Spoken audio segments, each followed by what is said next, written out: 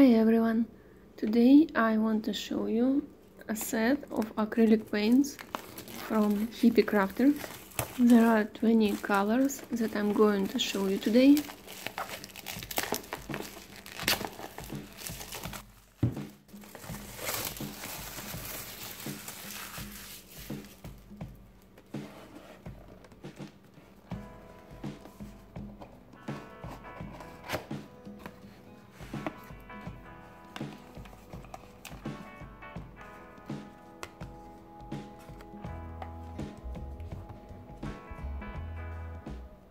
The lids have protection of plastic wrap.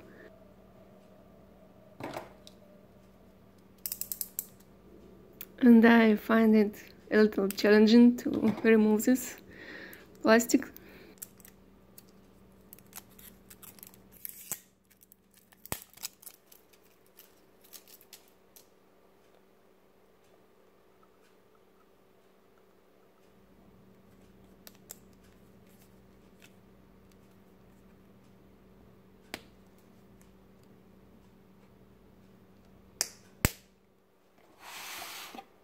and I spent some time just removing all the plastic from all lids.